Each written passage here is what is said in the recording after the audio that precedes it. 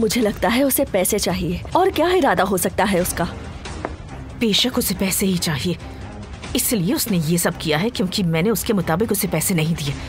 बदमाश कहीं का। उसने इतने पैसों की डिमांड की थी कि समझ नहीं आ रहा था कि हिकमत से छुपाकर उसे पैसे कैसे दूँ। पुलिस के पास जाने के अलावा और कोई रास्ता है क्या? For से ऐसी बातें मत करो जैमरे हम पुलिस के पास नहीं जा रहे। मैं कुछ भी करके पैसों का इंतज़ाम करती हूँ। उसे पैसे देने से हालात सुधरने वाले नहीं हैं आंटी। हमें हमें कैसे पता कि वो रेहान के साथ कुछ नहीं करेगा? वो बहुत गुस्से में था वो कुछ भी कर सकता है। क्या रिहान से ज़्यादा कुछ इम्पोर्टेंट है इस वक्त? अगर बुराल को पैसे नहीं मिले तो हमारे प्लान के बारे में सबको पता चल जाएगा।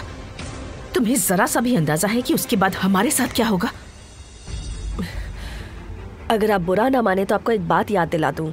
वुराल के साथ मेरा कोई अग्रीमेंट नहीं था। आप ही मुसीबत में आएँगी। ये ठीक नहीं है, आंटी। ये सब आप अकेले नहीं संभाल पाएँगे, इसलिए कह रही हूँ। हमें पुलिस के पास चले जाना चाहिए। मैं कोई ना कोई रास्ता निकाल लूँगी। तुम मुझ पर भरोसा रखो बस। हमारा प्लान ज़रूर कामयाब होगा।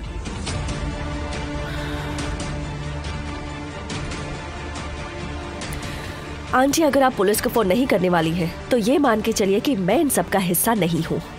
कुछ भी हो सकता है और मैं कोई चांस नहीं लेना चाहती। जैमरे तुम ऐसे वक्त में मेरा साथ छोड़कर चली जाओगी?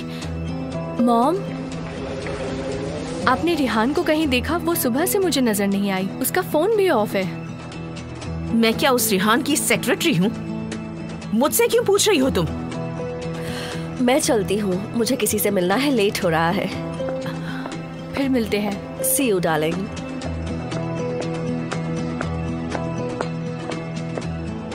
ये जेमरे को क्या हुआ है? वो इतनी जल्दी में क्यों थी? तो उसी से पूछ लेती ना तुम। मैं रेस्ट करने जा रही हूँ।